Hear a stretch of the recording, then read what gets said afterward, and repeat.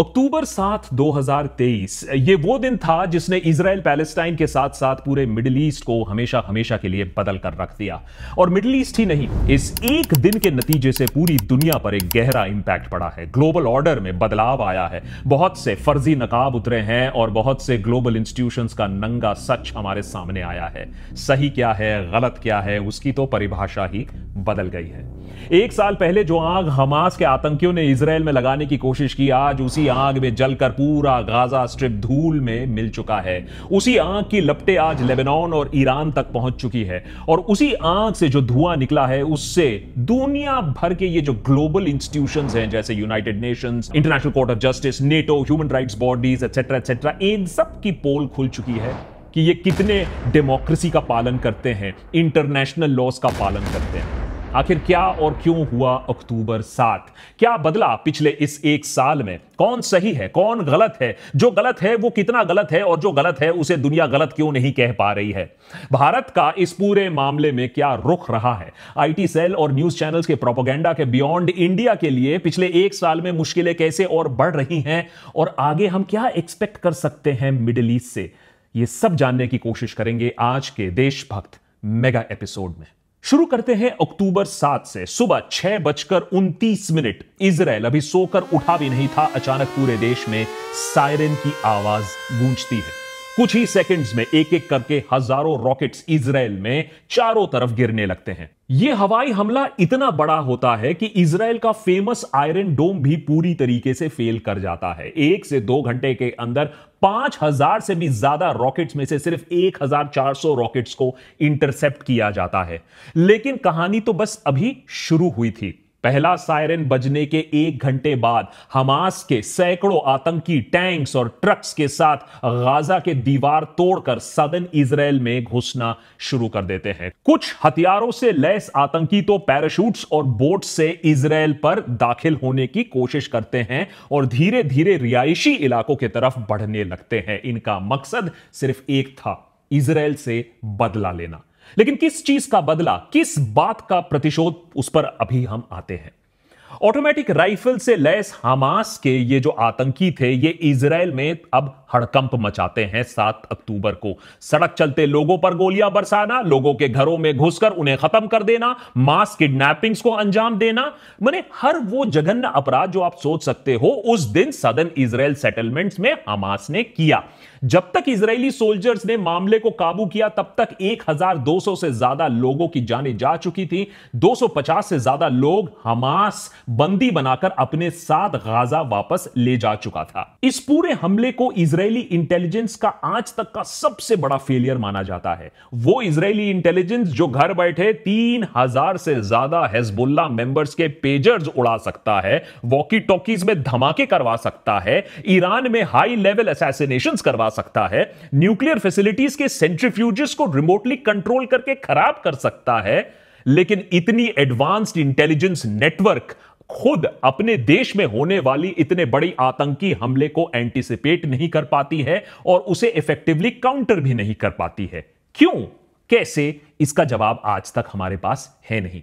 कैसे भनक तक नहीं लगी इसराइल के हज़ारों एजेंट्स को, जिन्होंने अपने हर दुश्मन के घर में स्पाइस लगाकर रखे हैं? वही Israeli air defences Israeli defence force का भी बहुत बड़ा फेलियर रहा। हमला शुरू होने के बाद भी हालाँकि एक बार जब हमला हो गया, उसके बाद स्विफ्ट एक्शन लिया गया, आईडीएफ ने थ्रेट को न्यूट्रलाइज कर दिया। लेकिन बाद में यह बात भी सामने आई कि इस एंटी हमास ऑपरेशन में कई सोल्जर्स ने अपने ही इसराइली सिटीजन को भी मार गिराया।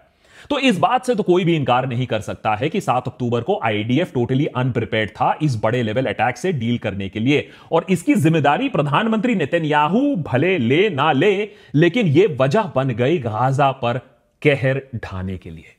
हमास 7 अक्टूबर को अपनी आज़ादी की लड़ाई का एक जंग मानता है। एक साल बाद भी उसको इस बात का कोई भी पछतावा नहीं है कि उन्होंने इतने बड़े लेवल पर अटैक किया और मासूमों की जान ली।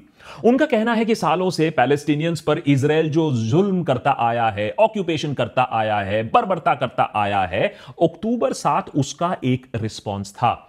हमास और कई प्रो पैलेस्टीनियन ग्रुप्स मानते हैं कि इसराइल के साथ उनकी जंग सालों से चलती आई है, कोई उनकी सुनता नहीं है इंटरनेशनल कम्युनिटी उनके लिए अंधा हो चुका है और अक्टूबर सात के अटैक्स बस उसी जंग का एक हिस्सा था, दुनिया को भी यह दिखाने के लिए कि वो अभी मरे नहीं है, वो ज़िंदा है। हमास क्या है? गाजा में इसका रोल क्या है? क्या हिस्ट्री है इस हमास ग्रुप का? इन सब की बात हम पहले ही वीडियोस में कर चुके हैं, जिनको इसराइल और पैलेस्टाइन की पूरी हिस्ट्री डिटेल में समझना है, हमास के बारे में जानना है, वो इन वीडियोस को रिफर कर सकते हैं। पर अभी भी बहुत से लोग ये कहते हैं कि इसराइल अगर अरबिक मिडिल ईस्ट के बीचों बीच स्थापित हो भी गया तो इसमें दिक्कत क्या है भाई? अरे, ये तो उनका एंसेस्ट्रल प्रोमिस्ड लैंड है। तो इस क्रूड लॉजिक का मैं आपको एक क्रूड हाइपोथेटिकल एग्ज़ाम्पल देता हूँ, तब आप शायद समझ पाओगे कि मिडिल ईस्ट में लोग कैसे सोचते हैं इस बारे में। बाबा विश्वनाथ की नगरी वाराणसी, जहाँ मेरा जन्म हुआ था, उसके बिल्कुल पास है सारनाथ। अब माना जाता है कि गौतम बुद्ध ने अपना पहला उपदेश यही दिया था। इसीलिए बुद्धिज्म और दुनिया भर के बुद्धिस्ट के लिए यह जगह बहुत खास मायने रखता है। ये जगह बुद्धिज्म के बाकी सिग्निफिकेंट प्लेसेस जैसे बौद्ध गाया, राजगीर, श्रावस्ती, कौशंबी, इनसे भी बिल्कुल बीचों बीच ये जगह पड़ती है। अब मान लो कि दुनिया में ऐसी कोई बड़ी आपदा आती है और दुनिया भर में बुद्धिस्ट पर अत्याचार होना शुरू हो जाता है। और दुनिया भर से भारी मात्रा में बुद्धिस्ट, सारनाथ, बौद्ध गाया, जो पवित्र जगह है रिलीजियसली इंपॉर्टेंट जगह है, उनमें आकर सेटल होना शुरू कर देते हैं। इस पूरे रीजन की डेमोग्राफी धीरे धीरे बदलने लगती है। तो यह बात आपको मंजूर होगा, भारतीय होकर। और ये पवित्र भूमि तो उनके लिए है ही है तो उनका लॉजिक तो बिल्कुल सही है कि वो वहाँ वापस आना चाहते हैं, उनका प्रोसिक्यूशन हो रहा है। और भारत के बिल्कुल बीचों बीच बस रहे और लगातार बड़े होते इस कम्युनिटी पर इंटरनेशनल कम्युनिटी की नज़र पड़ जाती है। मान लीजिए चाइना कहती है, सारे बुद्धिस्ट हमारे यहाँ से हटाओ इंडिया में डाल दो, यही उनकी असली जगह है, तिब्बत से भी खाली करो। और बाहर से और भी नए सेटलर्स आ जाते हैं। विदेशी ताकतें इंफ्लुएंस करती हैं पॉलिसी डिसीज़न करती हैं सेटलर्स धीरे धीरे एग्रेसिव भी होना शुरू हो जाते हैं और अपने होली लैंड पर फोर्सफुली अपना राइट right असर्ट करते हैं। अपने लिए एक अलग बुद्धिस्ट स्टेट की मांग शुरू कर देते हैं। फिर एंट्री होती है यूएन की इंटरनेशनल पावर्स की और वो इस नए देश की स्थापना की मंजूरी कर देते हैं, उसको रिकग्नाइज कर देते हैं। बिना भारत से पूछे, बिना हमसे कोई डिस्कशन किए। अब ज़ाहिर सी बात है, कोई भी लोकल पॉपुलेशन को यह बात एक्सेप्टेबल नहीं होगी। एक तो उनकी ज़मीन पर आप जबरन कब्जा कर रहे हो होली लैंड के नाम पर, और उसके ऊपर अपने ही देश के पॉपुलेशन को उनकी ज़मीन पर एलियन बनाकर सेकेंड क्लास सिटीजन बनाने की कोशिश कर रहे हो तो बात ऑब्वियसली राइट्स और वॉर तक पहुँच जाएगी। अब बुद्धिज्म एक रिलीजन ऑफ़ पीस है रिलीजन ऑफ़ बैलेंस है, ऐसा कभी होगा नहीं, लेकिन इसराइल और मिडिल ईस्ट की कहानी बिल्कुल ऐसी ही है। क्रूड एग्ज़ाम्पल दिया, लेकिन है ऐसी ही। अर्ली ट्वेंटी सेंचुरी में दुनिया भर के जूस रिलीजियस प्रोसिक्यूशन से तंग होकर अपने होली लैंड जेरूसलम की तरफ़ पलायन करते हैं और लाखों की तादाद में यही सेटल होने आते हैं। और इस इलाके में सैकड़ों सालों से रह रहे पैलेस्टीनियन पॉपुलेशन और उनके बीच में टेंशन बढ़ जाते हैं। उस वक्त के ग्लोबल पावर्स के सपोर्ट से जूस एक independent Jews state carve out कर लेते हैं 1948 में। इस बात पर वो सक्सेसफुल तो हो जाते हैं बिना किसी अरब नेशन से पूछे, बिना किसी डिस्कशन के। ये एस्टैब्लिशमेंट तो हो जाती है, लेकिन यहीं से कड़ी शुरू होती है इस वॉर की, इस जंग की, ये जो डिससेटिस्फैक्शन है और पैलेस्टीनियन से जो फ्रिक्शन है। हाँ पैलेस्टाइन आज लगभग पूरी तरीके से अब खत्म हो चुका है, वो बिल्कुल अलग बात है। लेकिन इसी खत्म होते हुए पैलेस्टीनियन स्टेट के लिए अलग अलग ग्रुप्स अपने अपने तरीकों से, सालों से लड़ते आए हैं। अब आप डिबेट कर सकते हैं कि ये तरीके सही हैं, गलत हैं टेररिस्ट है पीसफुल हैं। लेकिन ऐसे ही ग्रुप्स जो पैदा होते आए हैं, उनमें से एक ग्रुप है हमास जो इसराइल के सदर्न बॉर्डर्स पर स्थित गाजा स्ट्रिप को गवर्न और कंट्रोल करता है। हमास अपने फाइटर्स के ज़रिए सालों से इसराइल पर प्रेशर बनाते आया है, उस पर छोटे बड़े हमले करते आया है। इन हमलों में कई इसराइली सोल्जर्स और सिविलियंस की जाने भी गई हैं। इसीलिए इसराइल हमास को हमेशा से एक थ्रेट की तरह देखता आया है। चेंज आता है 2006 के इलेक्शंस के बाद जब हमास पूरे तरीके से गाजा को कंट्रोल करने लगता है इलेक्शंस जीत के लीगली कंट्रोल करने लगता है, तब इसराइल को लगता है, यार, ये थ्रेट तो और भी ज़्यादा बढ़ रहा है। घबराया हुआ इसराइल तुरंत पूरे गाजा स्ट्रिप पर एक ब्लॉकेड का ऐलान कर देता है। एसेंशियल गुड्स बिजली, पानी, खाना तक इन चीज़ों की एंट्री एग्जिट कंट्रोल करने लगता है और एक मान लीजिए कलेक्टिव पनिशमेंट हमास के साथ साथ पूरे इसराइल ने गाजा के पॉपुलेशन को भी देना शुरू कर देता है क्योंकि आप लोग ने इसको बनाया है लीडर तो आप लोग भी अब भुगतोगे इंटरनेशनल क्रिटिसिज्म के बाद इसराइल ने ये रिस्ट्रिक्शंस थोड़े से कम ज़रूर कर दिए। लेकिन इसके बावजूद पिछले पंद्रह सालों से गाजा को दुनिया का लार्जेस्ट ओपन एयर प्रिजन माना जाता है। ब्लॉकेड तो थोड़ा ईज करने के पीछे इसराइल की एक और चाल भी थी। दरअसल इजरायली लीडरशिप को पिछले दशक में यह लगने लगा कि अगर गाजा में लोगों के लिविंग स्टैंडर्ड्स को थोड़ा सा इंप्रूव कर देंगे तो वो हमास का जो रेडिकल स्टैंड है इसराइल के खिलाफ वो थोड़ा कम हो जाएगा। इसराइल और काफ़ी वेस्टर्न डिप्लोमेट्स को लगा कि अगर इकोनॉमिक इंड्यूसमेंट्स मैंने पैसा वैसा अगर दे दें तो हमास भी अपने फाउंडेशनल बिलीफ से थोड़ा सा हट जाएगा, वो भी थोड़ा अपना सॉफ्ट हो जाएगा, पैसे लेकर खुश हो जाएगा। हमास को भरोसा दिलाने के लिए इसराइल ने कुछ कॉन्क्रीट स्टेप्स लिए। गाजा के लोगों को इसराइल में जॉब्स देना शुरू किया। गुड्स और सर्विसेज़ का भी एक्सेस बहुत हद तक बढ़ाया भी गया। हमास ने भी इस रिलेशनशिप को एस्टैब्लिश करने के डायरेक्शन में कुछ स्टेप्स लिए। 2019 में हमास ने यूएन और इजिप्ट के अरेंजमेंट को एक्सेप्ट किया, जिसमें वायलेंट डेमोन्स्ट्रेशन को रोकने के बदले उसे हर महीने कतर से 30 मिलियन यूएस डॉलर्स मिलने लगे। यह सब भी इसराइल के डॉक्ट्रिन का हिस्सा था, जिसमें यह अज्यूम किया गया था कि अगर हमास को फाइनेंशियल स्टेबिलिटी मिल जाएगी तो वो शायद अपनी आइडियोलॉजिकल लड़ाई, उससे थोड़ा सा भटक जाए, थोड़ा शांत हो जाए। लेकिन 7 अक्टूबर को ये अजम्पशंस पूरी तरीके से चुरमुरा जाते हैं। इस अटैक से साफ़ हो जाता है कि हमास की आइडियोलॉजी अभी भी कॉन्क्रीट है और उसे इसराइल के प्रति नफरत इकोनॉमिक कंसेशंस के बावजूद बिल्कुल उतनी ही है। इनफैक्ट इसराइल और कतर के थ्रू जो भी इकोनॉमिक इंप्रूवमेंट गाजा में हुआ हमास ने उस सबसे अपने मिलिट्री पावर को बढ़ाने के लिए इस्तेमाल किया, जिसमें रॉकेट प्रोडक्शन और टनल बनाना शामिल था। इतने बड़े अटैक से बौखलाया हुआ इसराइल सीधा हमास पर जंग का ऐलान कर देता है। हमास को एलिमिनेट करना इजरायली फोर्सेस का अब एक गोल बन जाता है। देखते ही देखते इसराइल गाजा पर एयर स्ट्राइक्स करना शुरू कर देता है। अक्टूबर के एंड तक, मैंने एक महीने बाद दस हज़ार से भी ज़्यादा एयर स्ट्राइक्स हो चुकी थी, जिनका एम था हमास की मिलिट्री कैपेबिलिटीज को खत्म करना। इस ऑपरेशन का नाम था आयरन स्वॉर्ड्स जिसके टारगेट पर हमास के command centres weapon stockpile और टनल्स थे। लेकिन गाजा में हमास के फाइटर्स के साथ साथ दो मिलियन सिविलियंस भी रह रहे थे, जिनका अक्टूबर सात अटैक से टेररिस्ट अटैक से कोई लेना देना नहीं था। एयर स्ट्राइक के शुरू होते ही सिविलियंस की जान खतरे में आ जाती है। हज़ारों की संख्या में लोग हर हफ़्ते मारे जाते हैं। अक्टूबर के शुरुआत तक बीस हज़ार से ज़्यादा लोग गाजा में अपनी जान गंवा चुके थे। 1.5 मिलियन लोगों को गाजा में इंटरनली डिस्प्लेस होना पड़ा। मैंने अपना घर छोड़ना पड़ा। आज एक साल बाद गाजा में ज़्यादातर बिल्डिंग्स को मिट्टी में मिला दिया गया है। लगभग बयालीस हज़ार से ज़्यादा लोग मारे जा चुके हैं, जिनमें दस हज़ार से ज़्यादा मासूम बच्चे हैं। मरने वालों में करीबन 300 से ज़्यादा यूएन एड वर्कर शामिल हैं। करीबन 200 के आसपास जर्नलिस्ट की जान जा चुकी है, जिन्होंने, एलिगेशन है, जिन्होंने इसराइल ने जिन्हें टारगेट करके असैसिनेट किया है। इसके अलावा एक लाख के करीबन लोग इंजर्ड हैं। गाजा की करीबन 90 प्रतिशत से ज़्यादा पॉपुलेशन आज इंटरनली डिस्प्लेस हो चुकी है। आप मानिए, एक जगह की 90 प्रतिशत पॉपुलेशन जो अपने घरों में ही नहीं है। वहीं गाजा में 36 में से 31 हॉस्पिटल्स भी डैमेज या डिस्ट्रॉय किए जा चुके हैं। एक पर्टिकुलर इंसिडेंट में तो हथियारबंद इजरायली सोल्जर्स खुद बहुत शॉर्ट नोटिस में गाजा के अल शिफा हॉस्पिटल में दाखिल हो जाते हैं।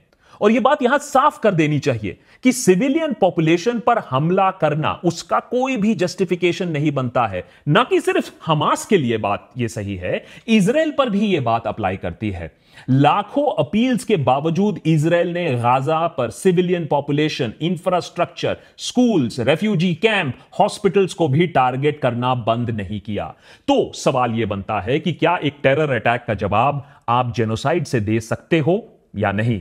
हमास के कई top commanders including Hamas chief Ismail Haniyeh भी अभी तक इस जंग में मारे जा चुके हैं। लेकिन यह जंग अभी भी चली जा रही है। आज भी हमास के फाइटर्स इसराइल फोर्सेस से टक्कर ले रहे हैं। आज भी आईडीएफ पूरी तरीके से हमास को एलिमिनेट नहीं कर पाई है। क्योंकि हवा से बम गिराना आसान होता है। ग्राउंड ऑपरेशंस में परिभाषा ही पूरी बदल जाती है। और उन 250 हॉस्टेजेस का क्या? जिन्हें हमास के आतंकी अक्टूबर सात को अपने साथ गाजा में ले गए। युद्ध शुरू होने के ठीक एक महीने बाद नवंबर 2023 में हमें पहला सीज फायर देखने को मिलता है, जिसमें 110 हॉस्टेजेस को छुड़ाया जाता है 240 पैलेस्टीनियन प्रिजनर्स के एक्सचेंज में। लेकिन एक वीक के अंदर अंदर यह सीज फायर फेल हो जाती है, लड़ाई फिर से शुरू हो जाती है, जाने फिर से जाने लगती है। पिछले एक साल से दुनिया में कई देश ये और भी ज़्यादा इफ़ेक्टिव सीज फायर अग्रीमेंट कराने की कोशिश करते आए हैं, लेकिन सारी कोशिशें फेल होती आई हैं। लेटेस्ट रिपोर्ट के मुताबिक 64 हॉस्टेजेस अभी भी गाजा में ज़िंदा है। उनमें से चार यूएस सिटीजन भी शामिल हैं। अब यूएस की बात छिड़ ही गई है तो बता दें कि एक साल से चल रहे गाजा में। इस वॉर में यूएस का एक बहुत बड़ा रोल है। अभी तक यूएस इसराइल को 15 बिलियन डॉलर से ज़्यादा मिलिट्री एड प्रोवाइड कर चुका है, जिससे इसराइल गाजा में बॉम्बिंग ऑपरेशंस और भी ज़्यादा इंटेंसिफाई करता आया है। इसराइल के लिए इस अनवेवरिंग सपोर्ट की वजह से बाइडेन एडमिनिस्ट्रेशन के खिलाफ पूरे साल कई प्रोटेस्ट दिखने को मिले। इनमें से सबसे ज़्यादा इनफेमस अगर आप कहें प्रोटेस्ट दिखने को मिले यूएस यूनिवर्सिटी कैंपसेस में। कॉलेज स्टूडेंट्स ने गाजा में इस वायलेंस और इसराइल के मिलिट्री एक्शंस के खिलाफ अपनी आवाज़ उठाई। ये प्रोटेस्ट अलग अलग छोटे, बड़े इंस्टीट्यूशंस प्रेस्टिजियस यूनिवर्सिटीज जैसे हार्वर्ड, येल, यूसी, बर्कली में हुए, जहाँ स्टूडेंट्स ने रैलीज और सिटिंग ऑर्गेनाइज किए। प्रोटेस्टर्स का कहना है कि उन्हें अपने फेलो फेलो पैलेस्टीनियन स्टूडेंट्स उनके परिवारों की सेफ्टी की चिंता है। कैंपस प्रोटेस्ट का एक मेन डिमांड था कि रिस्पेक्टिव कॉलेज एडमिनिस्ट्रेशन इसराइल के साथ अपने टाइज को रिकंसिडर करे या पूरी तरीके से कट कर दे, कम से कम जब तक युद्ध खत्म नहीं हो जाता। वहीं कुछ प्रोटेस्ट यूएस में बढ़ रहे एंटी सेमिटिज्म यानी जूस के बढ़ते हेटरेड के खिलाफ भी हुई। लेकिन चौंका देने वाली बात यह थी, और ये विजुअल्स आपको ये बात दिखाएँगे, कि यूएस जैसे डेमोक्रेटिक देश में अलग अलग स्टेट्स की पुलिस ने इन प्रोटेस्ट को काफ़ी ब्रूटली सप्रेस किया। स्टूडेंट्स के टेंट्स उखाड़ दिए गए, उन पर हैवी पेनल्टीज लगा दी गई कॉलेज से बाहर निकाल दिया गया, यहाँ तक कि रायट कंट्रोल मेजर्स का भी इस्तेमाल किया गया। यह सब स्टूडेंट्स के खिलाफ, जो कि पीस की बात कर रहे थे। यही नहीं, जहाँ जहाँ कॉलेज के प्रोफेसर कॉलेज के डायरेक्टर्स प्रेसिडेंट स्टूडेंट के साथ खड़े होने की ज़रूरत करे, वहाँ इजरायली लॉबी ने अपना नेटवर्क का इस्तेमाल करके उन्हें नौकरी से ही बेदखल कर दिया। याद रखिए यह सब यूएस में हो रहा है। वो अमेरिका जो पूरी दुनिया को फ्री स्पीच और डेमोक्रेसी के ज्ञान देता रहता है। कई लोगों ने इस वक्त पर यह पॉइंट आउट किया कि यूएस ने अपने स्टूडेंट्स की लेजिटिमेट कंसर्न्स को इग्नोर किया और उन्हें डिसेंट करने का मौका तक नहीं दिया। यह भी कहा जाता है कि गवर्नमेंट ने इन प्रोटेस्ट को सप्रेस करने के लिए एक्सेसिव फोर्स का इस्तेमाल किया, जो कि सिविल लिबर्टीज के खिलाफ है। इसके अलावा कुछ लॉ मेकर्स ने सरकार के इस रिस्पॉन्स को पोलिटिकली मोटिवेटेड भी कहा। खैर, इतने पैसे इसराइल को देने के बाद, अपने स्टूडेंट्स को पुलिस से पिटवाने के बाद, दुनिया भर में जेनोसाइड सपोर्टर का टैग लगने के बाद यूएस आज तक अपने चार सिटीजन्स को गाजा से वापस लाने में अनसक्सेसफुल रहा। इतना हाई टेक इक्विपमेंट और इतना बमबारी करने के बाद। अब सवाल उठता है कि आखिर क्यों इतना सब कुछ होने के बाद भी यूएस इसराइल के पीछे एकदम डट के खड़ा हुआ है? क्या है इस अमर प्रेम की कहानी? देखिए यूएस की फॉरेन पॉलिसी में इसराइल एक बहुत अहम रोल अदा करता है, क्योंकि इसराइल एक स्ट्रेटेजिक लोकेशन पर है जो मिडिल ईस्ट में अमेरिकन पावर प्रोजेक्शन को और मज़बूत करता है। दरअसल लेट 1980 से स्पेशली वियतनाम वॉर के बाद यूएस को यह बात तो समझ में आ गई कि हर जगह पावर प्रोजेक्ट करने के लिए उसे अपने सोल्जर्स भेजने की ज़रूरत है नहीं और ना ही काबिलियत है। वो दूर बैठे अपने अलायंसेस की मदद से दुनिया में कोने कोने में अपने थ्रेट्स को काउंटर कर सकता है और अपने स्ट्रॉन्ग पोजिशन को दिखा सकता है। जैसे सेवेंटीज में इंडिया के बढ़ते पावर और न्यूक्लियर एम्बिशंस को देखकर उसे काउंटर करने के लिए यूएस ने पाकिस्तान को सपोर्ट किया। यूएसएसआर के खिलाफ चाइना को सपोर्ट किया नॉर्थ कोरिया के खिलाफ साउथ कोरिया को सपोर्ट किया और आज फिर से चाइना को कंटेन करने के लिए भारत से नजदीकी बढ़ा रहा है यूएसए इसी तरीके से मिडिल ईस्ट में यूएस अपनी पावर प्रोजेक्शन करने के लिए इसराइल की मदद लेता है। जब तक इसराइल स्ट्रांग है, मिडिल ईस्ट में यूएस इंफ्लुएंस बरकरार रहेगा। Specially after the rise of Islamic Republic of Iran जो कि यूएस के लिए एक बहुत बड़ा थ्रेट उभर के आया है। इस पर हमने अपने पूरे पिछले एपिसोड में बताया है कि ईरान अमेरिका को कैसे बड़ा शैतान देखता है। तो ईरान को काउंटर करने के लिए यूएस चाहता है कि इसराइल और उसके एलाइज जैसे Egypt UAE Jordan Saudi Arabia जैसे देश मिलकर खड़े रहे। इन सब में यूएस लेट 1980s में सबसे ज़्यादा ट्रस्ट करता है इसराइल पर, क्योंकि इसराइल भी यूएस की तरह एक लिबरल डेमोक्रेसी है। अब कितना लिबरल और कितना डेमोक्रेसी है वो पिछले एक साल में हमने देख लिया है। साथ ही साथ इसराइल के पास एक एडवांस्ड मिलिट्री और एडवांस टेक्नोलॉजी है, जो ईरान जैसे दुश्मन मुल्कों के खिलाफ एक काउंटर वेट एक काउंटर बैलेंस की तरह एक्ट करता है। इसराइल की इंटेलिजेंस कैपेबिलिटीज यूएस को भी टेररिज्म न्यूक्लियर प्रोलिफरेशन जैसे थ्रेट्स के बारे में क्रिटिकल इंफॉर्मेशन और इंसाइट देता है। तो फॉरेन पॉलिसी के साथ साथ यूएस की डोमेस्टिक पॉलिटिक्स में भी इसराइल काफ़ी इंपॉर्टेंट है। यहाँ पर इसराइल को हर तरफ़ से सपोर्ट मिलता है डोमेस्टिकली अब जूस की आबादी यूएस में लगभग चार से पाँच प्रतिशत ही है। लेकिन ये जूस अमेरिका में एक ओवरसाइज इंफ्लुएंस होल्ड करते हैं। ठीक जैसे इंडियन अमेरिकन कम्युनिटी सबसे ज़्यादा टैक्स पे करती है, उसी तरीके से Jews, top institution office universities, companies, हर जगह इनका एक इंफ्लुएंस है। लेकिन अमेरिका में अगर आप ये बहुत पॉइंट आउट करते हो या अंडरलाइन करते हो तो ये टेबू टॉपिक माना जाता है। अमेरिका की सरकार ऐसे हर मेंशन को एंटी सेमेटिक या हेट स्पीच की तरह देखती है। उनका मानना है कि जूस की अगर आउटसाइज्ड इंफ्लुएंस है भी, उसके बारे में बात करना, उसको डिस्कस करना, इस जूस के खिलाफ नफरत दिखाने बराबर हो जाता है। इसे एक हेट क्राइम माना जाता है। इसीलिए पैलेस्टाइन के बारे में अगर आप मेंशन करो या पैलेस्टाइन में प्रो पैलेस्टाइन स्पीच दो, या एक प्रो पैलेस्टीनियन सिंबल आप पहन लो, एक कपड़ा भी पहन लो, वो रंग भी दिखा दो तो फिर आप पर एक्शन हो सकता है, आपको बॉयकॉट किया जा सकता है, आपकी नौकरी जा सकती है। कमाल का फ्रीडम ऑफ़ स्पीच है अमेरिका में।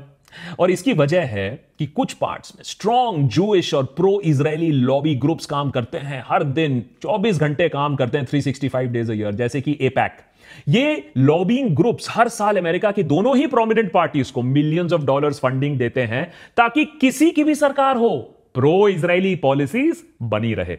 अभी अगले ही महीने यूएस में इलेक्शंस होने वाले हैं। कहने को तो यूएस के वोटर्स कमला हैरिस या डोनाल्ड ट्रंप दोनों में से किसी को चूज़ कर सकते हैं। लेकिन इसराइल के मामले में उनके पास कोई चॉइस नहीं है, क्योंकि हैरिस हो या ट्रंप हो, दोनों ही प्रो इसराइल स्टांस लेते हैं और अपने आप को एक से ज़्यादा दूसरा बड़ा बोलना चाहते हैं सपोर्टर जब ज़ाहिर सी बात है, क्योंकि फंडिंग इतना आ चुका है इनके पास, अब रेस इस बात की है कि कौन कितना प्रो इसराइल अपने आप को दिखा सकता है। वाह भाई वर्ल्ड ओल्डेस्ट डेमोक्रेसी इससे अच्छा तो आप मदर ऑफ़ डेमोक्रेसी से कुछ सीख ले सकते थे। थोड़े ऑप्शंस तो हम ज़रूर दे देते अपने वोटर्स को। सात अक्टूबर के बाद हमास और हिजबुल्ला का खात्मा हुआ हो या नहीं, यूनाइटेड नेशंस की कब्र तो खुद चुकी है। यूएन का रोल मिडिल ईस्ट के कॉन्फ्लिक्ट में अब लगभग सिंबॉलिक सा ही बनकर रह गया है। एक साल से चल रहे इस जंग में तो खासकर यूएन की क्रेडिबिलिटी को बहुत गहरा नुकसान पहुँचा है। पिछले एक साल में यूएन के सेक्रेटरी जनरल ने इसराइल और पैलेस्टाइन के बीच में शांति के लिए डिप्लोमेटिक एफर्ट्स की कई बार कोशिश की, लेकिन उनकी अपील, उनकी कोशिश हमेशा इग्नोर कर दी गई। उनकी बात सुनना तो दूर की बात है। यहाँ यूएन एड वर्कर्स को सैकड़ों की संख्या में मार डाल दिया जा रहा है। इसराइल जानती है कि ये यूएन वर्कर्स है, तब भी वहाँ मिसाइल दागे जाते हैं। करीबन 300 के आसपास यूएन वर्कर्स मारे गए हैं।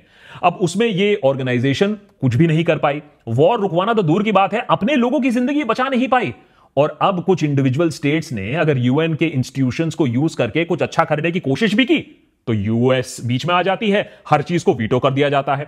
जब गाजा पर इसराइल के एयर स्ट्राइक्स और हमास के रॉकेट अटैक शुरू हुए तो ह्यूमैनिटेरियन क्राइसिस की रिपोर्ट्स तेज आने लगी। यूएन ने बार बार सीजफायर की डिमांड की और स्पेशली गाजा में सिविलियंस के लिए ह्यूमैनिटेरियन एड पहुँचाने की कोशिश की। लेकिन सिक्योरिटी काउंसिल में पावरफुल मेंबर्स के बीच में डिफरेंसेस होने के कारण यह कोशिशें अधूरी रह गई। यूएस जो इसराइल का ट्रेडिशनल एलाई है, उसने इसराइल के राइट टू सेल्फ डिफेंस को स्ट्रांगली सपोर्ट किया, जबकि रशिया और चाइना ने इसराइल के हार्श मिलिट्री एक्शंस को क्रिटिसाइज किया और पैलेस्टाइन के कॉज को सपोर्ट किया। अब ये इंपॉर्टेंट है, ये जियोपॉलिटिकल डिवाइड सिक्योरिटी काउंसिल को एक सब्सटैंशियल एक्शन लेने से रोक तो रहा है, लेकिन हमें दिखा रहा है कि दुनिया किस तरफ़ जा रही है। कई बार यूएन रेजोल्यूशंस पर वोट्स हुए लेकिन या तो वीटो लग गया, या तो अग्रीमेंट नहीं हो पाया।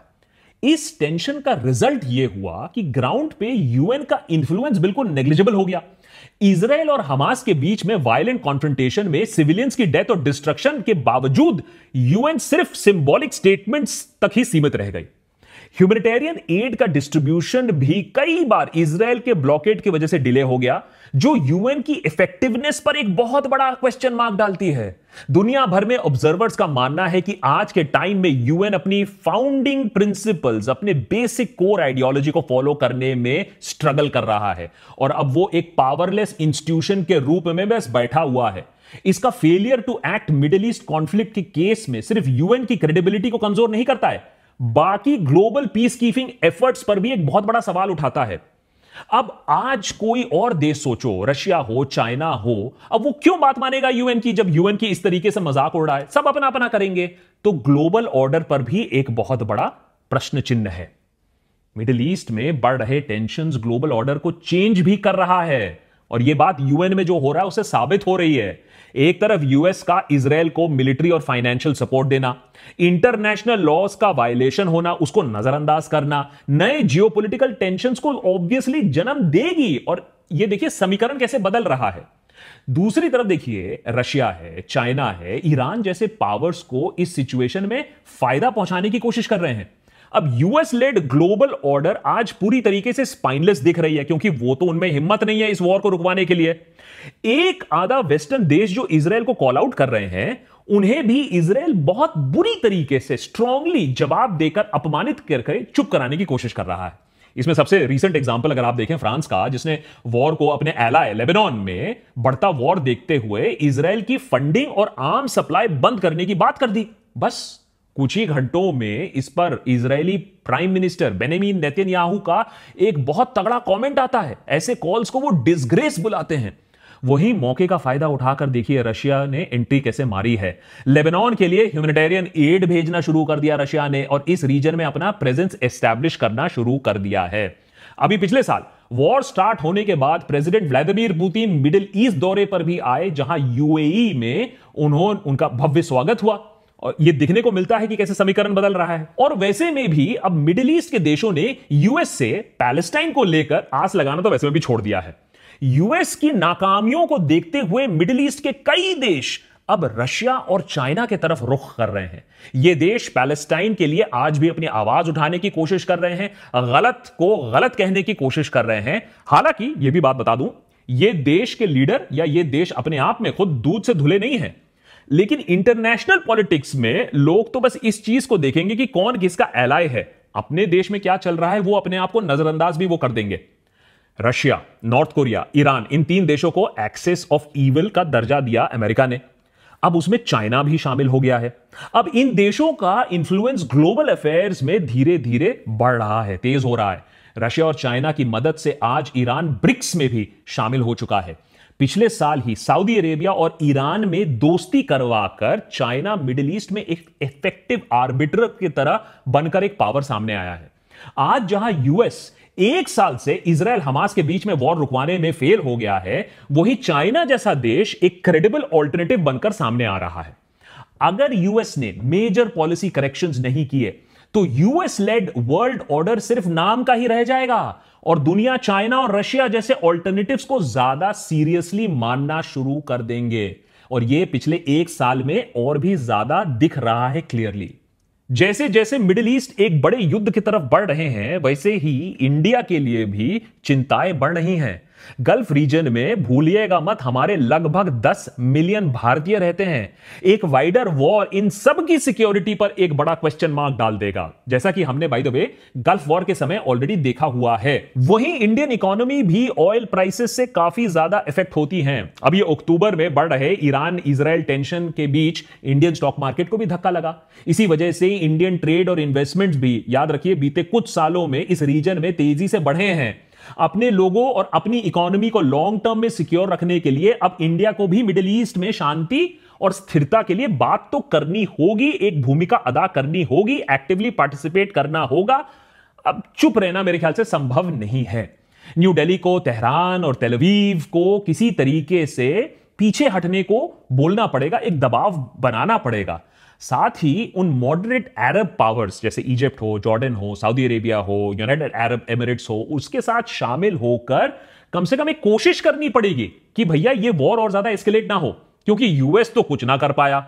इससे पहले कि चाइना फिर से बाजी मार ले इंडिया को शांति बहाल करने में एक अहम रोल अदा करना होगा।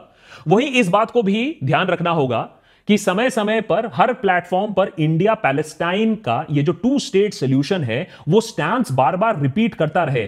पैलेस्टीनियन स्टेट बनाने की कोशिश हमें बार बार करनी चाहिए क्योंकि सोल्यूशन अल्टीमेटली वही है कि दोनों को अपना देश मिले और दोनों वहाँ शांतिपूर्वक रहे। जैसा कि हमने आपको पिछले एपिसोड में भी बताया था कि अब यह वॉर सिर्फ़ इसराइल और हमास के बीच में सीमित नहीं रही है। सितंबर के महीने से लेबनान भी इसमें शामिल हो चुका है। इसराइली बमबारी में 2000 से ज़्यादा लेबनीज भी मारे गए हैं। क्या अब लेबनान में भी हम वही चीज़ देखेंगे जिस तरीके से गाजा में बिल्डिंग्स को ध्वस्त कर दिया गया था लेबनान का भी वही हालत होगा। अब इजरायली सेना चाहती है कि हेजबुल्ला को न्यूट्रलाइज कर दिया जाए उनके लीडरशिप को पीछे धकेल दिया जाए। इसराइल चाहता है कि हेजबुल्ला एक बार फिर से लिटानी रिवर के नॉर्थ तक चला जाए जा, ताकि एटलीस्ट नॉर्थ इसराइल में हेजबुल्ला का थ्रेट कम हो जाए। वहीं हेजबुल्ला फोर्सेस पीछे हटने का नाम नहीं ले रही हैं। टॉप लीडर्स के मारे जाने के बावजूद हेजबुल्ला ऑपरेटिव्स इजरायली ट्रूप्स को कड़ी टक्कर दे रहे हैं ग्राउंड पर। अभी तक कई इजरायली सोल्जर्स भी लेबनान में मारे जा चुके हैं। बढ़ते विवाद में अब ईरान भी शामिल हो चुका है। इसी महीने की शुरुआत में इसराइल पर उसने 180 से ज़्यादा बैलिस्टिक मिसाइल्स गिरा दिए। इसके बाद उन्होंने यह भी वार्निंग दिया है कि अगर इसराइल रिटेलिएट करता है तो अगला मिसाइल हमला इससे भी ज़्यादा बड़ा होगा और सिविलियंस को भी नहीं छोड़ा जाएगा। ऑल आउट वॉर ना यूएसए चाहता है, ना ईरान चाहता है। दोनों को मालूम है, युद्ध शुरू हो गया तो खत्म नहीं होगा, दलदल में बस और ही लोग फंसेंगे और मरेंगे। लेकिन इसराइल मानने को तैयार नहीं है, वो टेरर अटैक का अंजाम और टेरर अटैक का रिप्लाई वो जेनोसाइड से दे रहा है बार बार अब ऐसा करेंगे तो ये एक फॉरएवर वॉर बन जाएगा। नितिन याहू को भी मालूम है कि युद्ध जहाँ रुका, उनकी कुर्सी गई। इसीलिए आज भी मिडिल ईस्ट बस एक कदम या दो कदम दूर है एक फुल ब्लोन रीजनल वॉर से। आपको क्या लगता है? वॉर से कुछ हल निकलेगा? मिडिल ईस्ट इतना कॉम्प्लिकेटेड है, दो बम गिराने से सोल्यूशन निकल जाएगा? यह शांति ही रास्ता है। कमेंट्स में वॉर या पीस आप लिखिए अपने कमेंट्स के साथ। मुझे भी तो पता चले कि कितने लोगों ने हमारा साथ दिया इस डिटेल्ड एपिसोड के अंत तक। नहीं तो बहुत सारे लोग सिर्फ़ सिर्फ़ एक थंबनेल देखकर या टाइटल देखकर ही कमेंट कर देते हैं। अगर आपको हमारा काम ऐसा पसंद आता है तो आप हमें सब्सक्राइब कर सकते हैं। आप Patreon dot com slash the Deshbhakt पर एक मेंबर बन सकते हैं। हमारी देशभक्त की यूट्यूब फैमिली आज फाइव मिलियन स्ट्रांग हो चुकी है। आशा करते हैं कि ये फैमिली और भी बढ़ती रहे और हम ऐसे ही फैक्चुअल इन्फॉर्मेशन लेडन एपिसोड्स आपके लिए बनाते रहें।